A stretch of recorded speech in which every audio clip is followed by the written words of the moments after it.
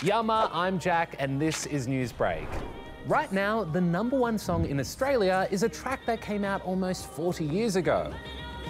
It's called Running Up That Hill by Kate Bush, and Amal's here to explain how such an old song is smashing records today. It's you and me.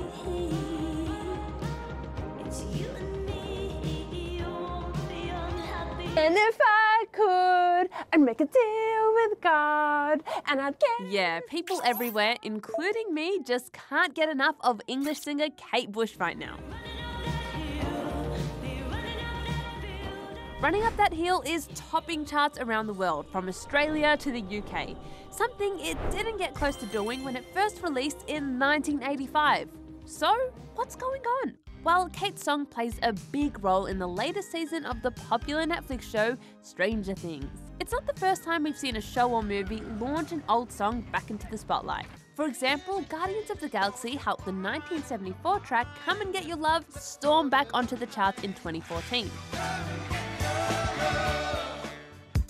But what makes Kate Bush go even more viral than anything else we've seen in recent memory is TikTok. Running Up That Hill has been used in around 2 million videos on the app.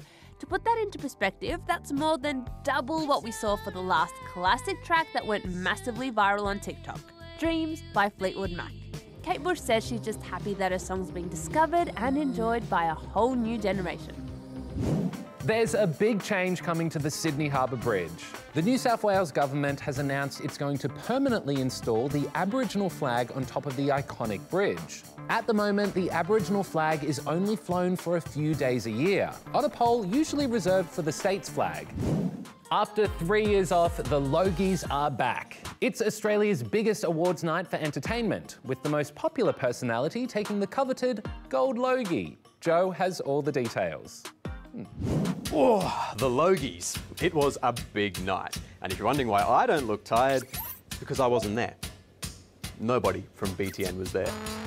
Because we didn't get nominated. The awards returned after having to take a three year break thanks to COVID, with all the best talent from our favourite Aussie shows in attendance. Well, almost all. Even in our absence, the ABC did really well, taking out a whopping nine awards, like ABC News Breakfast's Tony Armstrong winning the most popular new talent. There's a lot of people I need to thank. Um, first off, uh, the old cheese, my mum. And everyone's favourite blue heeler, Bluey, won the most outstanding children's program. I sure couldn't think of any other outstanding children's programs. C- can you? Moving on, Hamish Blake also had quite a night. He helped uncover a voting scandal, Unbelievable. won the inaugural Bert Newton Award for Most Popular Presenter, and also scooped up the Gold Logie for Most Popular Personality on Aussie TV. Of course, I'd like to thank Channel 9, who in turn would like to thank me for golds. Must be nice. You'll have to pay close attention to these next stories because they're uh, not what they seem. Don't worry, there is nothing wrong with your TV. This house really is upside down. The Upside Down House is the latest attraction at an adventure park in Romania. It was made to leave visitors feeling dizzy, and trust me, it's working. Check out this mohair suit. And no, it's not the type of mohair that comes from an Angora goat. It's mohair, as in moustache hair, that comes from, well, moustaches. To be more specific, moustache hair that was donated by people who participated in Movember. The exhibition features a bunch of other hairy attire, and just like Movember, it's all about raising awareness for men's health. And what's this? A sign of life on Mars? NASA's Mars rover has captured an image of an unexpected shiny object on the red planet. Now, I know what you're thinking aliens. Well, apparently not.